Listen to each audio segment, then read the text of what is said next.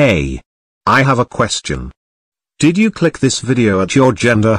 Okay okay. Tell me in the comments if you are a girl or boy. And why is that? Well. This video will determine. Who are the mightiest legends? Is it the boys? Or the girls? So basically. This is a battle of genders. Ha ha. It's amazing guys. Before I give you the challenge.